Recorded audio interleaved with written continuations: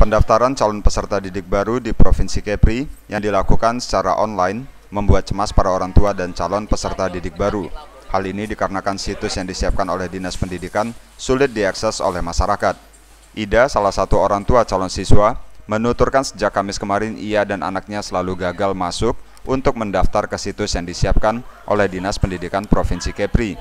Ia mengaku cemas lantaran sampai hari ini belum bisa mengakses pendaftaran anaknya melalui PBDB online tingkat SMA atau sederajat di Kota Batam. Kenapa internetnya? Masih muter-muter dari saya. Orang ya orang yang gaptek mana? Iya iya, mumet ya apa? Mending kan yang kayak apa langsung offline gitu kan? Anaknya nggak tahu Bu, rupanya. Kalau anaknya langsung. Kalau saya anaknya tahu. Anaknya tahu tapi dibuka muter, muter terus nggak itu kan kita orang tua kan khawatir juga kan Pak. Nanti kalau nggak terdaftar nggak apa gitu. Apa deh?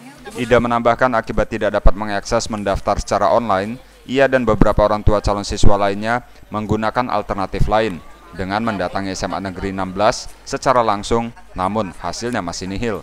Ia berharap ada solusi dari Dinas Pendidikan agar hak-hak mereka menyekolahkan anaknya di sekolah negeri dapat tercapai.